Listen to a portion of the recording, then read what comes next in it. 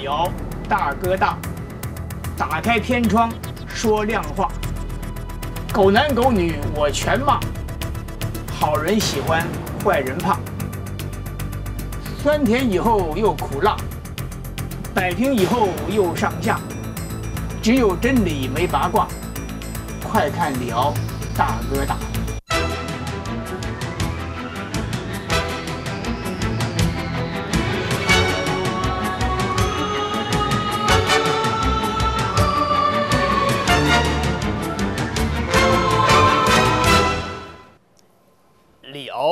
大哥大，今天我讲的第一个题目是负义阿扁，负义无耻，负义阿扁，负义无耻。先讲过年的一个小故事。过年的时候，我跟喊我太太、跟我儿子、跟我的小女儿，我们一起啊聊天，啊，我给他们讲了一个我在小的时候呢，我们在追查。好比几个人在一起的时候，谁放屁啊？我们追查这个放屁的人。我们小的时候啊，有一句口念的一句，小孩子念的一句绕口令啊，叫做“好比是四个人啊，四个人就是我们就钻啊，谁碰到有人放屁了啊，在追查这个人的话，就甲乙丙丁四个人，我们就会从甲开始，叫叮叮当当，海陆烧香，粗米细米，放屁是谁？不是别人，就是你。这搞不好，那一一数的话呢，就数到自己，也许数到张三，也许李四，也许王五啊，就这样数的时候，大家就闪躲啊，因为呢，这很有趣的一个追查谁放屁的这个祸首啊。我再念一遍，叫叮叮当当，海陆烧香，粗米细米，放屁是谁？不是别人，就是你。你看我这样一念，就变成是我是我是放屁的了啊，就是只要你这个次序搞不好啊，呃，就会变得。你是放屁者，这种捉拿放屁的这种方式啊，有一个有趣的现象，就是啊，他很重点的告诉你啊，谁是祸首，谁是放屁的人。今天我们所看到一个情况啊，就是财政划分这个法，明天要开始在立法院复议了。今天闹的天昏地暗啊，国民党连战回来督阵，在亲民党啊。听说宋楚瑜啊在海外啊指挥啊，今天下午呢连开四个小时会，由李庆安啊，可爱的李庆安来主持啊，决议怎么怎么样啊？当然呢，民进党啊也在摩拳擦掌啊。可是这里面呢，我们都搞错了，以为这是一个单纯的立法问题啊，其实不是啊。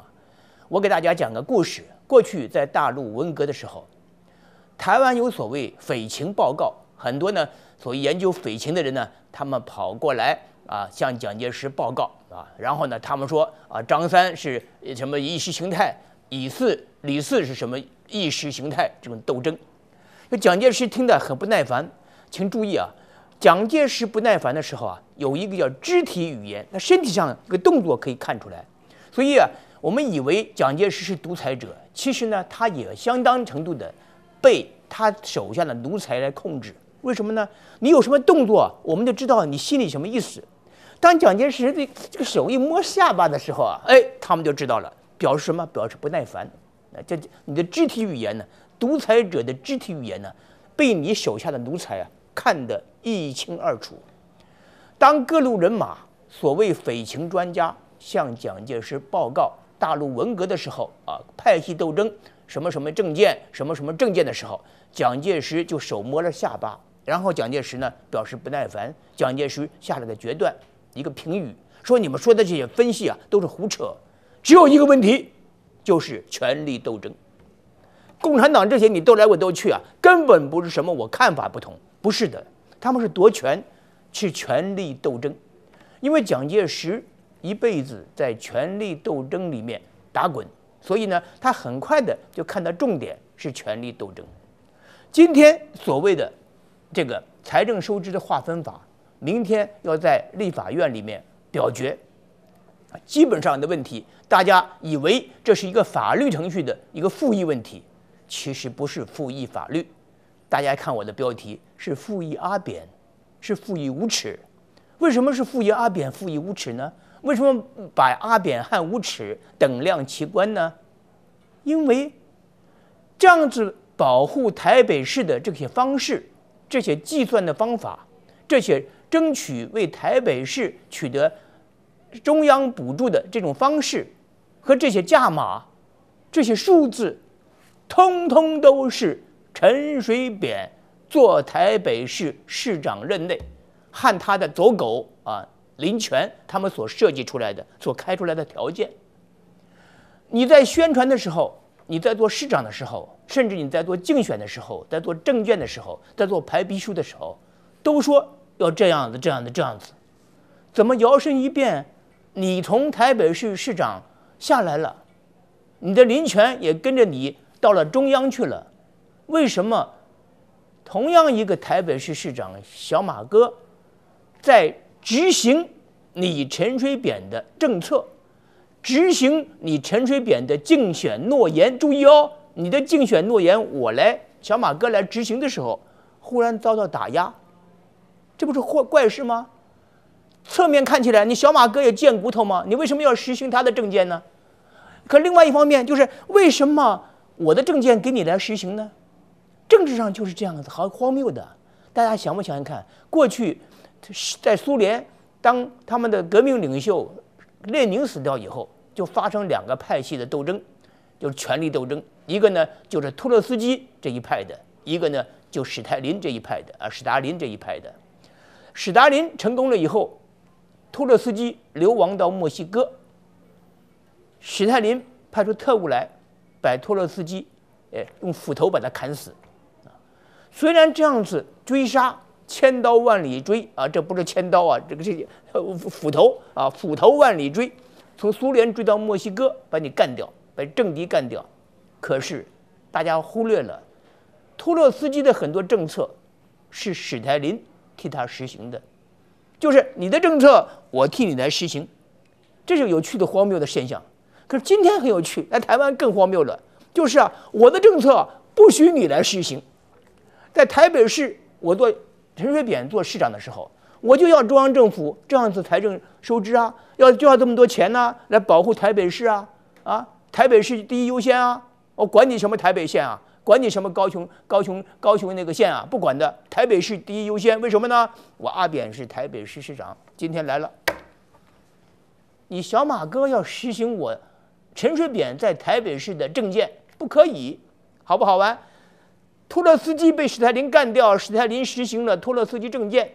今天小马哥贱骨头要实行阿扁的政见的时候，他要被阿扁干掉，所以我们看得很清楚啊。小马哥就不懂，小马哥就就都不懂，说是这个为什么呢？那个你你既然要修法，你何必还要复议呢？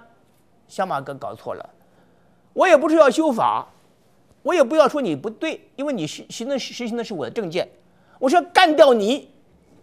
我陈水扁是要干掉你马英九，什么原因呢？你是我这个潜在的一个威胁的力量。选台北市长的时候，你你出来把我打败；将来选总统的时候，你出来的时候，你又出来跟我打，对我构成威胁。因为能够威胁我的外省人里面，只有只剩下了像宋楚瑜啊，在政治上威胁他，郑宋楚瑜跟马英九了，没有什么，几乎没有第三个人了。所以呢，我要打倒你马英九，趁着你在川。势力往上窜的时候，我把你打倒。所以今天的问题啊，是要打倒马英九，打败马英九，根本跟这个复议的内容好和坏、对和不对，通通没有关系。大家搞错了嘛？拼命在开公听会，在讨论啊。今天呃，这这文倩来召开公听会来讨论，啊，讨论什么呢？讨论这个问题的是非。这里面没有是非了，这里面就是就是我阿扁的意见，你们有你好像马哥来实行都不可以。为什么呢？刚才讲过了，啊，你怎么可以实行我的政见呢？我要打倒你，你可能会串起来，你的势力可能串起来，所以呢，我要消灭你，要把打打倒你，这就是真正的问题。所以呢，真正该复议的是阿扁，真正该复议的是阿扁的无耻。为什么呢？你的政见，你在台北市的要求，你的白皮书里面的标准，今天别人来实行的时候，通通不可以，通通要封杀。大家觉得是不是很荒谬啊？这是荒谬，什么政治问题呢？这就是政治，这政治代表什么？代表阿扁的啊，这无耻。为什么呢？你的一切，只有你做台北市长的时候才有意义。当你不做台北市长的时候，啊，当你的政治上的敌人或者潜在的敌人要做的时候，即使是在你心目里面是一件对的事情都不行。为什么呢？我们要封杀，要封杀。所以问题摆在这里了嘛？大家花了很多时间去研究这个问题的是非对错，其实没有，就像蒋介石不研究文革时期的是非对错一样，那是权力斗争。今天呢是阿扁无耻，就这么简单的，老下脸皮来，硬是要斗小马哥，就这么简单。说小马哥说了那么多、那么多、那么多窝囊的话，哎，奇怪啊！我也是台北市拿最少，是不是台北市拿最最后，有有利于各县市，我是实行呃阿扁总统的政见。你说这干干什么啊？小马哥头壳坏掉了，这句话通通没有意义。为什么呢？因为真的目的是要把你干掉。中国一句古话了，是峨眉入宫要见度啊！你峨眉就漂亮的女孩子，你进了皇宫，别人就要嫉妒你。什么原因嫉妒你呢？因为你是别人的一个威胁的力量，你是个美女。你就威胁着别人，就这么简单啊！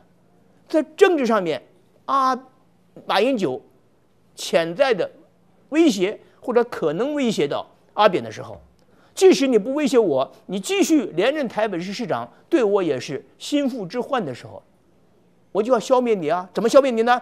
打击你的形象，打击你的士气。明天立法院表决，为什么表决啊？就是他认为有机会，他可以表决。你问我，我李奥赞不赞成说是国民党跟民进、亲民党联合？你问我意见，我可以告诉你，我还不赞成呢。什么原因呢？要反表决，我不跟你玩这个戏。为什么呢？太危险了。如果说表决结果让阿扁过了关，复议成立了，阿扁等于扳回来一城，扳回什么呢？立法院副院长选举，对不对？阿扁吃个吃个闷棍。这一次呢，哎，我在这个这个分这个财财政划分这法上面。我来扳回一城，给阿扁一个扳回一城的机会，所以我认为，跟阿扁在打立法院的这个戏，这个牌，除非国民党联合亲民党，你们绝对有把握的成功，或者绝对有把握的像推出姜炳坤的案子符合啊大家的共同的一个希望，否则我认为，我认为亲民党配合国民党去保护小马哥。不一定是一个正确的牌。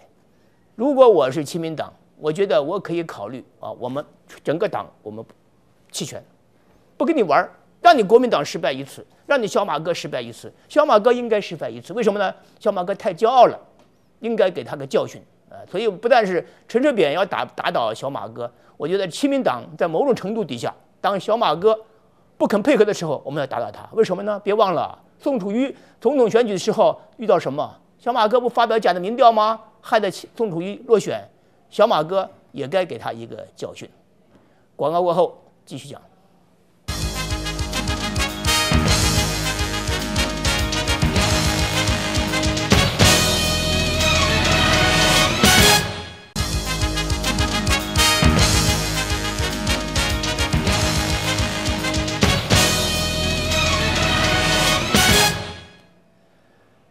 好大哥大，现在我讲第二个题目，叫做“你听到我叫，其实我没叫；你听到我叫，其实我没叫。”这句话是谁的话呢？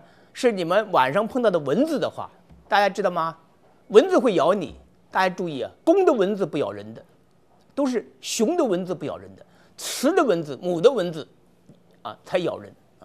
可是那公的蚊子跟着干嘛呢？公的蚊子追求母蚊子，所以跟在旁边也也搅和。事实上，它是不咬人的啊。那么我们会奇怪，那你叫什么东西？你咬我就好了，你叫什么呢？大家记不记得，当年的 鲁迅呢写过一篇小文章，叫做《夏三虫》，夏天的三种虫子。他在描写 第一种虫子啊，就是臭虫啊。臭虫台湾有很多人不太清楚，臭虫呢是在床里面的缝里面嘛，走得很慢。爬你身上叶里啊，吸你的血，然后呢，慢慢的走过来，慢慢吃了你血啊，还来不及逃走的时候，有的时候被你抓到它，把它打死了啊，就慢吞吞的，叫做不声不响的，叫臭虫。夏天的三种虫子，第一种臭虫，第二种是跳蚤啊，跳蚤跑到你身上去啊，咬了一口啊，你要打它一球，它跑掉了，动作很快啊，也是没有声音的。臭虫吃你吸你血，跳蚤吸你的血都没有声音的。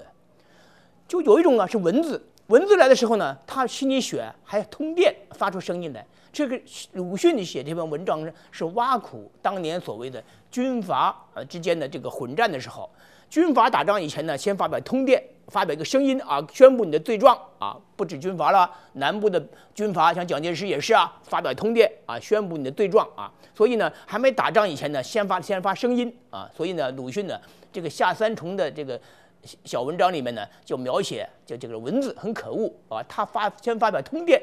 先发出声音来以后，它开始咬你啊！刚才我说过，只有雌蚊，母的蚊子啊，才咬人啊。它咬你之后呢，为什么要叫？其实蚊子说，我可以告诉你，蚊子说，你听到我叫，其实我没叫。为什么蚊子没有叫呢？它没有发声音来咬你发声音，而是它那个翅膀的震动声音呢，比那个 C 度啊，我们就 C 啊，就高高音 C 度啊啊还高五个度啊。那个声音出来以后呢，你听到的就是嗡嗡嗡嗡的声音了啊！因为你听到这个声音，你以为它叫，其实它没叫。所以今天呢，我的题目叫做“你听到我叫啊，其实我没叫”。意思呢，就先代表啊，母的蚊子向大家抗议，就是呢，你们以为我啊咬你以前，我要呃大大大吵小叫，事实上呢，我没有，根本没有要叫，要我是要咬你，可是我没有要叫啊。今天我们看到阿那个阿扁。在打压马英九的时候，马英九在叫，马英九在说可以修法，为什么要复议？啊，问什么啊？可以修法，为什么要复议？马英九问的问题好笨呢？为什么好笨呢？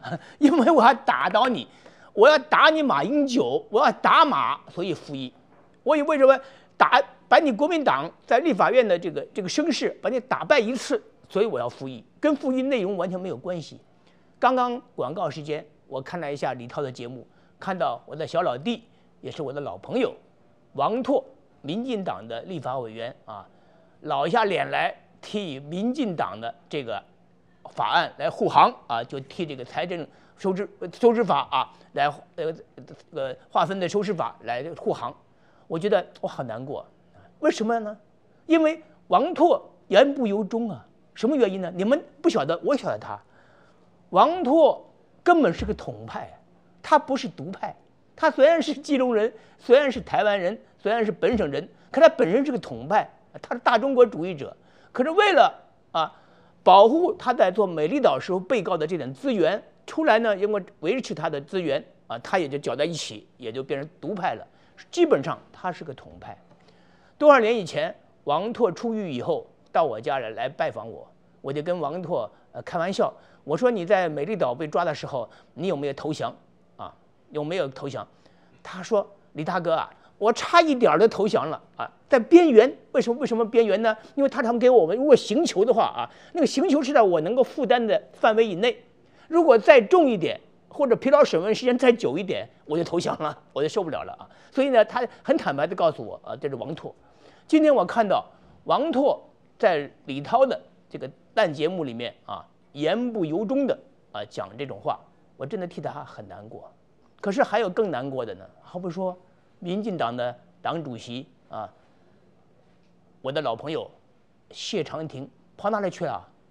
跑到日本去干什么呢？要泡汤干什么呢？泡汤去啊？去洗澡去了？什么什么洗澡去了？这个问题碰都不敢碰，什么原因呢？阿扁警告他：你不要再选党主席了，你去给我选高雄市长，能不能当选看你本领了。党主席不给你了。谢长廷过去跟阿扁是平起平坐的。台北市台北市市议员或者立法院立法委员，今天被阿扁打压的这个样子，打压你是阿扁不对，可是你不敢揭竿而起，挺身而斗，这就是你的不对了。所以我认为谢长廷啊，跑到日本呢，跑掉了，感觉就泡汤去了啊。所以我们可以看到报上都说多了嘛。都说民进党背弃了高雄市的选民，什么原因呢？因为新的版本的财政划法划财划法呢，市政府高雄市政府可以增加一百一十二亿财政收入。谢长廷呢态度暧昧，立法委员痛批，地方呢想发起人一一人一人一通电话，电话怎么样啊？就是向你们高雄市的民进党的人抗议，为什么我们高雄市可以拿到一百一十二亿的好处，居然？你谢长廷不敢据理力争，为什么？怕得罪阿扁，所以呢，因为你要要这个钱，台北市政府也会要这个钱为了不让阿小马哥拿到这个钱，所以谢长廷也不可以拿到这个钱。这个钱，好了，现在问题又回来了。你听到我叫，其实我没有叫，什么原因呢？就又谈到谢长廷，到日本干什么去呢？去泡汤。我告诉大家，很有趣，很有趣。中国有句古话叫做“礼实求诸也”啊，这礼礼礼节礼礼节的规章啊，礼义的规章丢掉了，在中原不见了，可是，在边陲的地方，在边缘的地带。在外国反倒看到了，礼实求诸也，礼不见了，可是，在边陲地方就到了。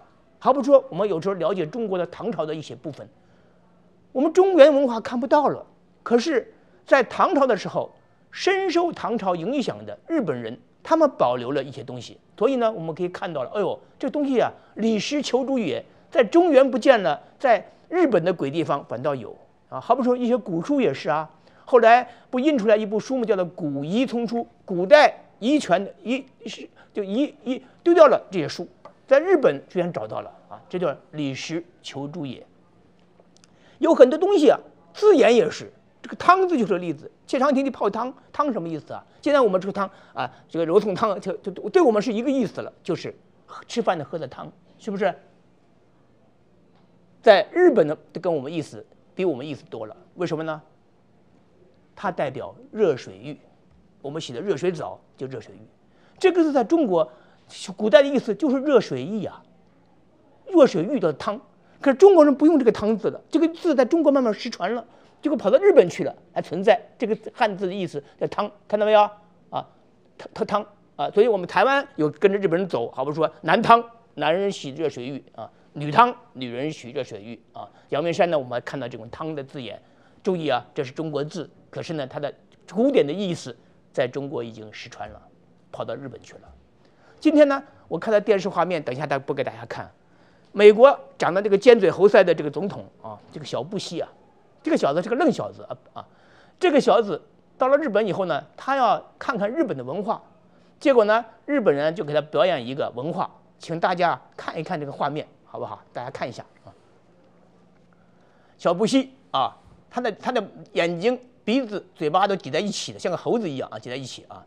然后呢，他到到日本去以后呢，他去参观了日本的这个这个神社以后呢，就看了一个表演。这个表演呢，在日本叫做啊，叫做溜迪马。大家看报上这个三个字啊，溜迪马啊，溜迪马啊，溜迪马，呃，就是今天不可以画面的看到吧？这个啊，不惜跟着日本这个讨厌鬼的首相啊，拿着这个画，就一个马上面，这个日本武武士啊。他们表演溜迪马啊，布希小布希看着这个溜迪马啊，看到没有啊？啊，看看到没有啊？他说啊啊，要看溜迪马的活动。什么叫溜迪马呢？就是八个日本的武士啊，骑着马，马跑得很快，射箭啊，射箭那很准确度，当然有人也射不到啊，很准确的射两个靶子，射给小布希看。小布希很高兴的赞美啊。这个这种这个本领，过去印第安人也会啊，可是慢慢美国人慢慢就就失传了啊。那日本都会，就中国古代人都会啊，不，因为古代都会骑兵嘛，他没有汽车嘛，那骑着马干什么？骑着马能够作战呢？作战两个方式，近距离的嘛，好比说呃关公啊，这个拿青龙偃月刀啊，张飞啊丈八蛇矛啊，这种是远距离的什么呀？远距离就要射箭嘛，所以每个人都会射箭，并不稀奇啊。这个百步穿杨啊，都会射箭啊。现在呢，这个流敌马的这个部分，流什么流呢？流是流动的流，敌什么意思啊？注意这个字，又是中国字，跑到日本鬼子身上去了。在我们对我们有一点失传了。一个金字旁啊，一个啊，我们说适者生存的适，无胡适的适字去掉那个走之啊，就这个流迪马这个金这个迪字啊，迪是什么呢？迪就是箭头，我们射箭那个箭头，一个流动的箭头啊，叫做流迪啊。流迪什么意思呢？就表示它的速度啊。好了，这个字在中国已经等于不太用了啊，慢慢慢慢的作废了，变成古字了。可是，在日本还保留着啊。我给大家看一段古书啊，中国古书里面。首先，大家想想看，我们到大陆看到说中国有一个啊古迹啊，万里长城。万里长城，事实上我们所看到的已经不是秦始皇的长城了，这个长城啊是明朝人盖的长城啊。万里长城怎么来的？就中国古代呢，一直面对的中国的汉族啊，面对北方的一些胡人。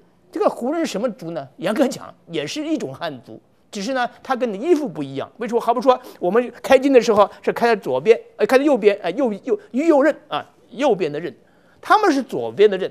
所以孔子不讲吗？未管仲，吾其披发左任也。要没有管仲的话呢，我就披着头发。左边开开那扣子啊，就解在开在左边了。什么原因？那胡人呢，那匈奴人呢，他们是左边开刃的所以在周中国周朝的时候呢，就有所谓匈奴人啊，当时不叫匈奴啊。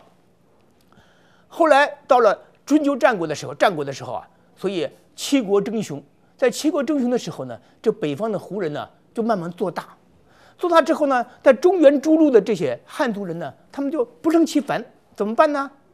他妈的！老子搞一道墙把你挡住，为什么原因呢？你人可以爬过来，对不对？马过不来，对不对？挡住你的骑兵，怎么样挡住方法？广告过后告诉你答案。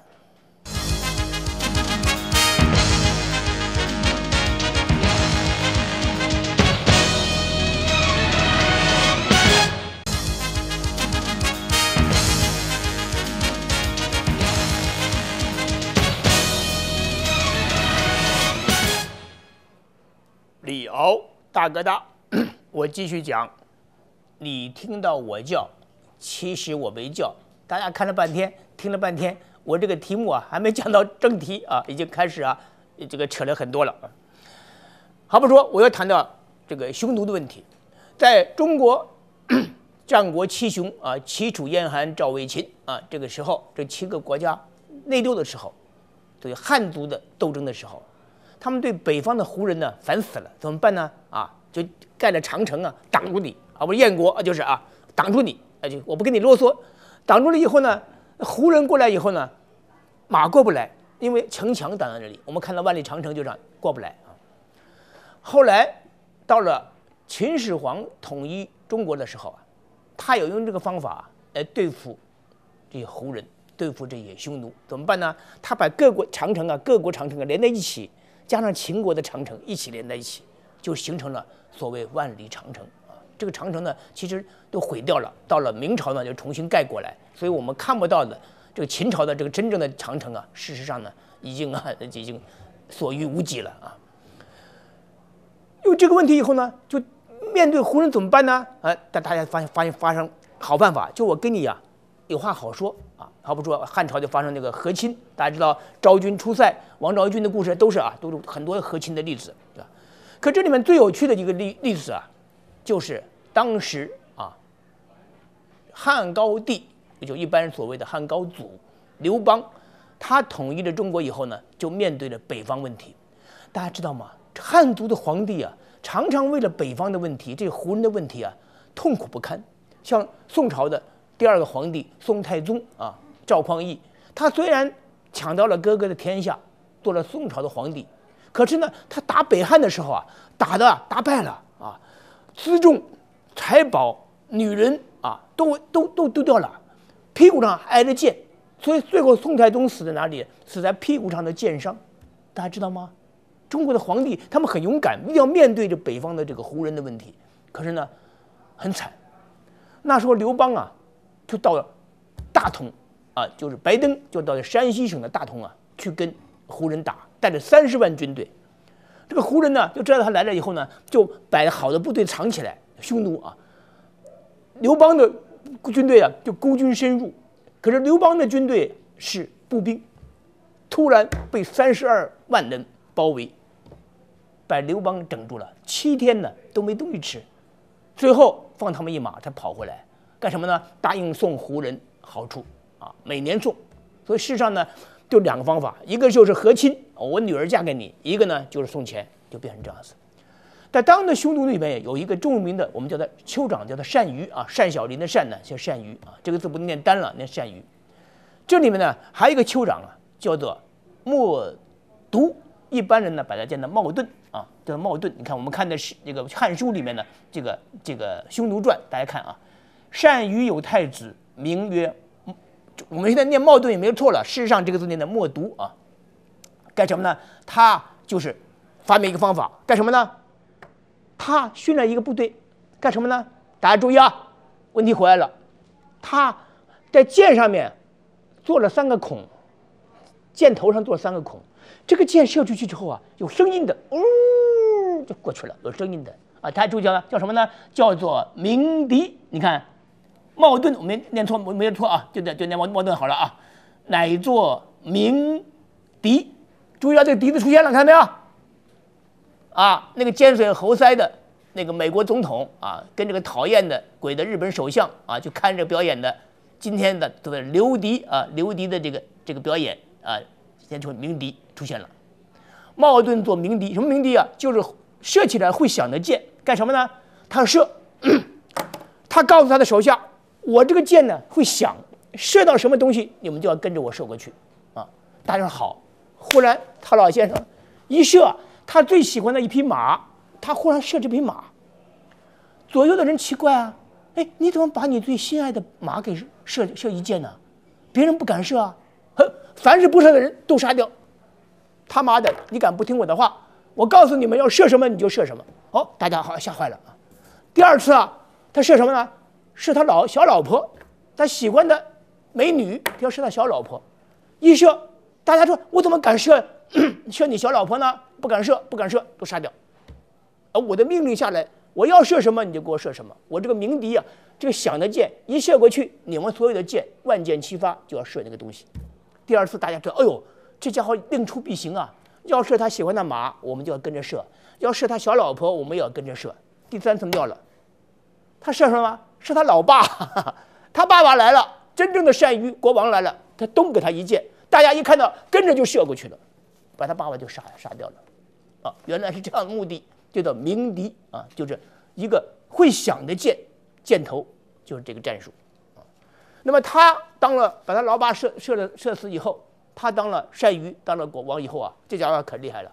那时候也有胡人欺负他，现在要什么啊？现在要马啊，好，我给马。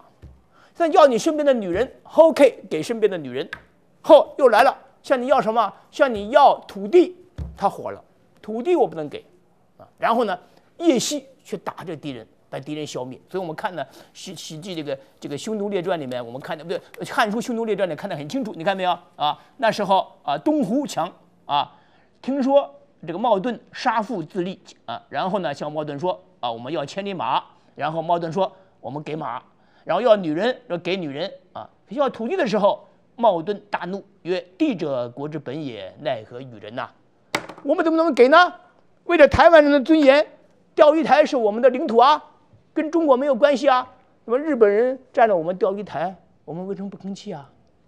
勇敢的台湾人为什么不把日本钓钓鱼台在台湾旁边的，属于宜兰县头城的这边的钓鱼台，在我们邮政区号里面，你看大家看的邮政邮邮箱上印的邮地区邮邮地区号第两百九十号就是钓鱼台列屿，我们为什么不收回啊？为什么？勇敢的台湾人为什么不收回啊？跟中国什么关系啊？哎，不敢动，什么原因呢？我们赶不上匈奴，你看没有？地者国之本也，奈何与人？我怎么可以给别人呢？好，就打，把他结果呢，东吴被他打垮了。好了，有趣的现象出来了，刘邦被他整了以后，汉高帝被整了以后，他派三十二万骑兵把刘邦整了以后，刘邦后来死了。死了以后，刘邦的老婆。跟吕秀莲同姓，也姓吕，叫吕后。这个女的可是厉害的不得了。这个女的把刘邦的小老婆眼睛挖掉，耳朵切掉，手砍断，丢在猪圈里面，跟猪在一起。那么狠的吕后啊，打天下比这个吕秀莲厉害多了。这个茂盾写了封情书啊，给吕后，就好像今天有人向啊吕秀莲这个吕副总统啊吕副。求爱一样，他向他求爱。这个求爱的这封信呢，在《汉书》的《匈奴传》里面有一段，我念给大家听，看看当时的人的趣味。然后，你知道我的目的吗？我的目的是要骂吕秀莲，不是吗？现在看看我们古代的这个吕小姐怎么样面对这个问题。大家看啊，你看没有？然后呢，就死了以后，刘邦死了以后，他就写信啊，给高高后，就吕后，你看没有？孤愤之君呢？什么叫孤愤之君？人字边啊，这个奔字，什么叫孤愤之君呢？孤愤什么意思啊？就是一个人性欲要冲动的人，尤其指女人，叫做孤愤，孤愤之君啊！我这个皇帝啊，性欲冲动的一个皇帝。翻翻成白话给你们听啊。生于居泽之中，我在那个那个原野里面啊，长于平原，就平野牛马之域啊，就跟着牛马，就我说游牧民族嘛啊，数至边境，到你们这个中原的旁边啊，愿游中国，希望到你这个中国跟这个你看看不没有不是我们现在中国，是指这个中国汉族的地区中原啊。陛下独立啊！你吕后，你不当了天下吗？你丈夫死了以后啊，孤愤独居，看到没有？你也会性欲冲动的一个人活在那里，因为为什么呢？你丈夫死了，两主不乐。我这个做了做了领袖的人啊，不快乐，你也不快乐，你做领袖也不快乐啊，无以至于啊，就欲欲就就欲就就是。我们叫娱乐的娱这个字啊，就是两个人都不快乐呢，就是不能娱乐吗？玩不起来了，干什么？愿意所有，意其所无啊！我愿意，我我我所有的东西来换你所没有的东西。我有什么？我身上有什么东西啊？我身上有叉叉。你要的东什么东西啊？你要的叉叉，对不对？哎，换这个东西，我也我要跟你来，我干嘛？求婚呐！匈奴的领袖写了这么样一个黄色的羞辱的信，给汉朝的等于当时女皇帝，因为刘刘邦的儿子惠帝是窝囊废，妈妈当当权给女皇帝。请问，那个时候如果吕秀莲啊，他本家也当权的时候，怎么得了啊？满朝文武在开会的时候，忽然收到这么一封羞辱他的情书，怎么得了啊？怎么处理？大家注意，当时吕后怎么处理啊？打！你敢这样子欺负我们姓吕的，敢这样子目无吕吕吕副总统，敢这样子不尊重新女性，你们这些胡人，这些匈奴，老娘给你打！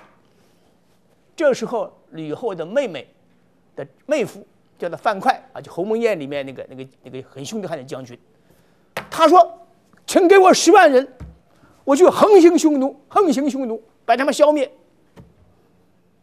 这时候，一个大臣站出来说：“要把范快，把这个妹夫杀掉。什么原因呢？”他说：“有广告，广告以后再告诉你原因。”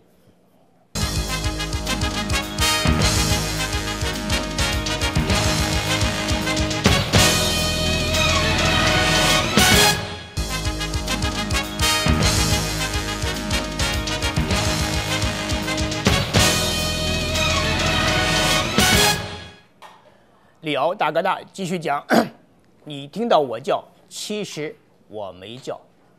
我刚才讲过，在汉朝的第一个皇帝汉高帝刘邦死了以后，匈奴的领袖就是冒顿啊，叫那真的名念法叫默读啊，有人念的墨底啊，密底也都可以的啊。好，我们就念念冒顿写封信呢，给刘邦的魏王人啊，跟吕秀莲同姓的吕后，就说向他求婚。大庭广众之下，吕后打开了一个穷书以后呢，大怒，这还得了吗？打！这时候呢，吕后吕后的妹夫啊，就范哙将军呢，说：“你给我十万人，我去横扫匈奴，啊，替你报仇雪恨，争回我们啊台湾人的尊严。”这时候有一个将军叫做季布啊，大家看季布呢，就说：“范哙啊，就你这个妹夫啊，可以杀掉他。为什么可以杀掉他呢？说当年我们的高皇帝啊，刘邦啊。”在山西大同，今天的山西省大同县，叫做白登，被就就被这个小子，被这个色狼啊，这个匈匈奴的这个领袖冒顿呢包围的时候啊，我们有三十万的部队都不能动啊。现在你翻快说十万人就要去打人家，你三十万人都被人家包围，你十万人怎么打人家？这第一点。第二点，当时被包围的人也有你范快啊，也有你啊。当时你你都打不能动，今天你怎么动啊？所以我们看《汉书》的。《匈奴传》里面怎么说？你看没有啊？范哙曰：“臣愿得十万众。”你看啊，你看往下看这段，说到这个吕吕后吕后啊，收到信以后呢，大怒，召丞相平，就陈平及范哙他的妹夫季布将军啊，一斩其使者，把匈奴来的代表大使啊，把杀掉。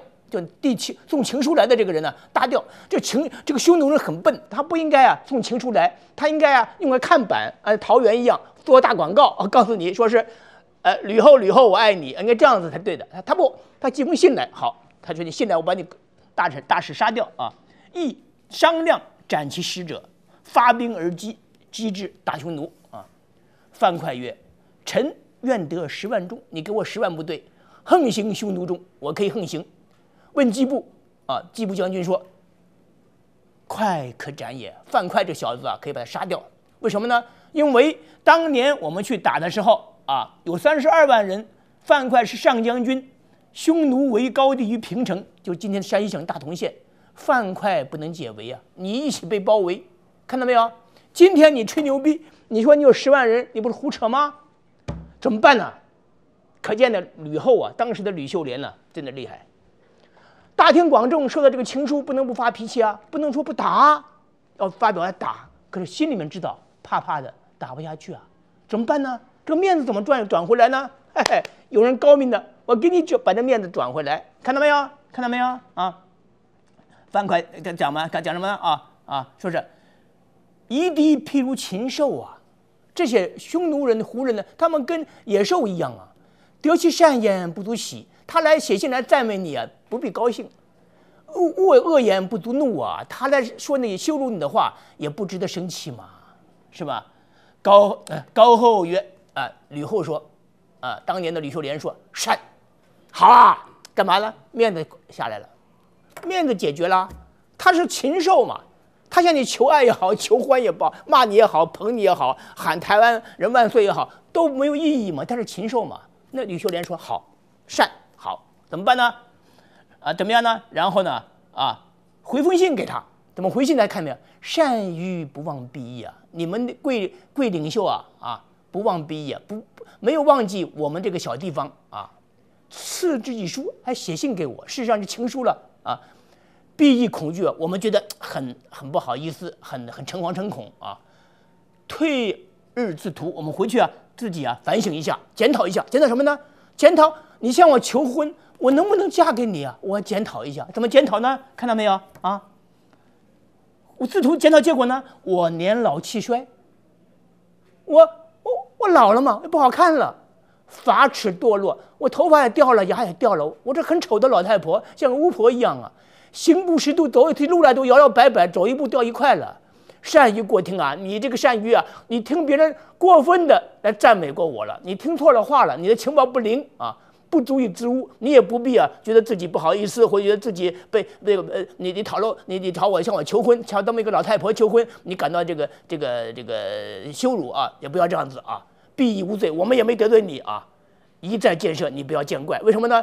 我只是老了，只是丑了嘛，我又没没得罪你嘛，怎么办呢？啊，然后妾有御车啊，二乘马二四，我送给你很好的车，很好的马，以奉长假，给你常常的用。我送你一辆凯迪拉克啊，还外带带一辆鹏鹏驰的这个这个五百啊，像我们中天的这个这个总裁啊张道生做的鹏驰五百啊，以奉长假给你来做，看到没有？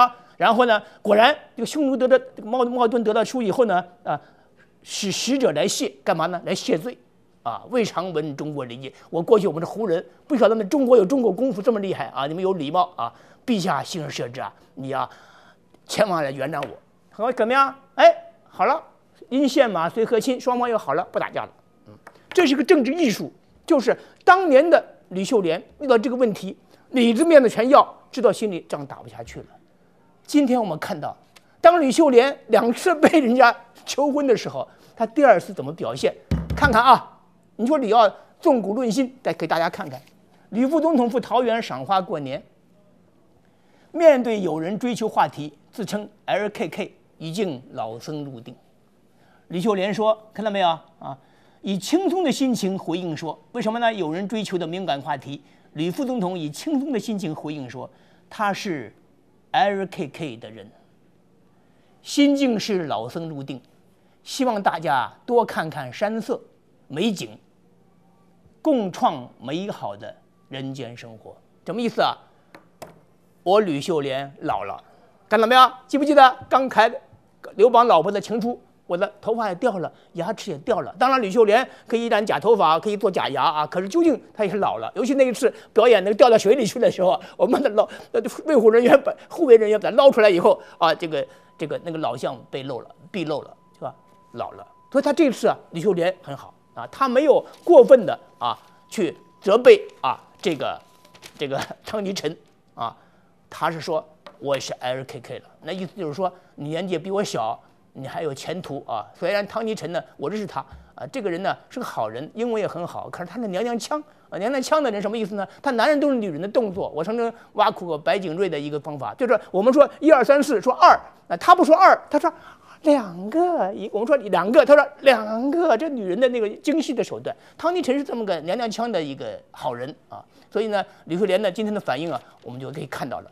那为什么你今天的题目扯得这么远，从汉朝的姓吕的扯到现在姓吕的呢？因为告诉你这个结论就是，你听到我叫，其实我没叫，为什么呢？因为李秀莲讲了一句话，说是啊，社会土石流就是发这个这个发这个爱国讲讲发这个彩彩券。可是呢，立刻就开始说否认要求停办彩券，说了句正确的话以后呢，告诉你，你听到我叫，其实我没叫。吕秀莲不敢公开的干涉这个财券的业务，真的，吕秀莲，我们终于看到了。今天讲到这里。